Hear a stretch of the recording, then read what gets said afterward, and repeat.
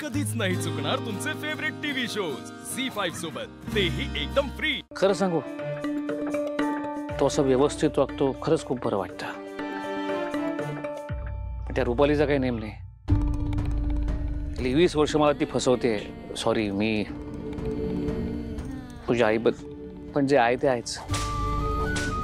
त्यावेळेला मला वाटायचंच की सगळं उत्तम चाललंय, व्यवस्थित चाललंय, बरं चाललंय. मग आता जेव्हा सगळं व्यवस्थित चाललंय असं वाटतं तेव्हा थोडंसं टेन्शन येतच. पण बाबा तुम्हाला आता टेन्शन घ्यायची काही गरज नाहीये. कारण तुम्ही आजोबा होणार आहात आता. मला सांगा तुमच्या नातवंडाला तरी आवडेल का तुम्ही असं टेन्शन घेतलेलं? सो प्लीज़ रिलॅक्स रिलॅक्स बाबा होईल सगळ्यांनी. चला कामाला लागूया. येस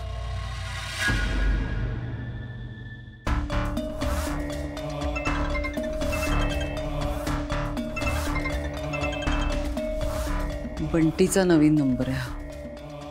कशाला फ़ोन करतोय? पैसे मागायला फ़ोन करत असणार? आत्ता नाही बोलता येणार मला. जे झालंय ते निस्तरायला हवंय आधी.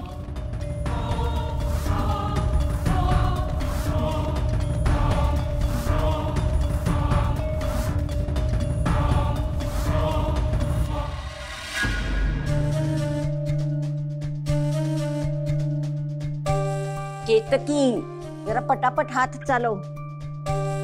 आज फाल्गुनीसाठी लाडू झालेच पाहिजेत. हो आई पीठ छान भाजायला वेळ लागणारच की नाही? हो म्हणूनच म्हणतेय. बघू. हा जरा भरभर कर. आणि गॅस मोठा कर ना.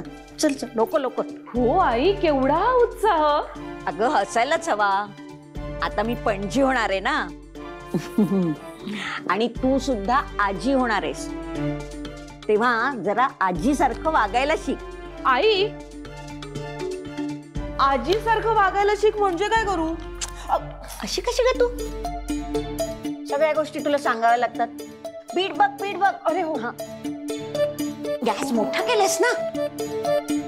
अगं मी तुला गुळ देते. आई आई थांबा. मी घेते. तुम्ही बसा. मी करते हो सगळं. बरं बरं. अरे वा. आई? हम्म? लाडू करताय का? हो कणकेचे लाडू करते ग जरा पौष्टिक. हो. मला पण तनूच्या वेळेला दिले होते तुम्ही करून. अगं पौष्टिक असतात ना म्हणून करायचे असतात. मी मदत करू का तुम्हाला? नाही नको. काहीच करू नको.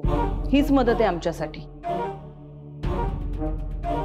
तुम्ही उठा आई मी करते. अगं राहू दे तुम्ही करते. उठा बघू मी करते ना. बर हा.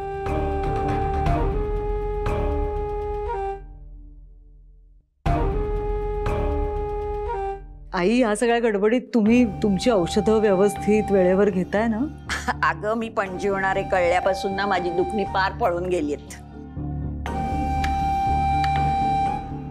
सगळं छान होतंय खरंच खूप बरं वाटतंय.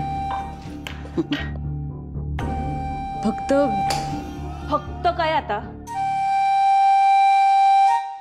नाही म्हणजे टेन्शन आहेच ना.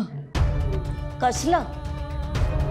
झी फाईव्ह ॲप डाउनलोड करा पहा सर्व एपिसोड्स एकदम फ्री